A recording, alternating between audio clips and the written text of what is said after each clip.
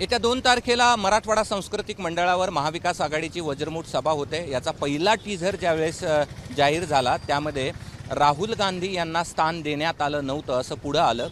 आत्ता मी तुम्हाला जे बॅनर दाखवतो आहे ते थोडेसे बारकाईने जर आपण पाहिले तर त्यामध्ये आपल्याला लक्षात येईल की दोन बॅनर लावण्यात आलेले ते काँग्रेसच्या वतीनं लावण्यात आलेलं आहे आणि दुसरं ठाकरे गटाच्या वतीनं लावण्यात आलेलं आहे. ठाकरे गटाचं जर बॅनर आपण निरखून जर पाहिलं तर त्या बॅनरवर कुठेही राहुल गांधी यांचा फोटो वापरण्यात आलेला नाही. सोनिया गांधी शरद पवार बाळासाहेब ठाकरे त्याचबरोबर स्थानिक जे नेते आहेत त्यांचे फोटो या ठिकाणी लावण्यात आलेले आहेत आणि राज्यांच्या नेत्यांचे फोटो या ठिकाणी लावण्यात आलेत. मात्र आपण दुसरीकडे जर पाहिलं तर काँग्रेस राष्ट्रवादी काँग्रेसच्या वतीनं जे बॅनर लावण्यात आलेलं आहे त्यामध्ये राहुल गांधी यांचा मोठा फोटो या ठिकाणी ला- लावण्यात आलेला आहे. आणि इथे पण आपण सोनिया गांधी असतील उद्धव ठाकरे असतील शरद पवार असतील नाना पटोले असतील अशोक चव्हाण असतील त्याचबरोबर अजित पवार असतील यांच्यासह इतर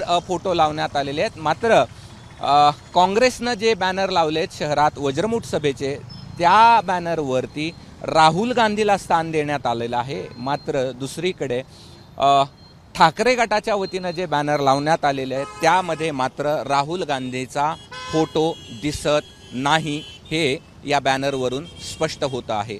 कॅमेरामन धनंजय दारुंटेसह मी कृष्णा केंडे एबीपी माझा छत्रपती संभाजीनगर. एबीपी माझा उघडा डोळे बघा नीट.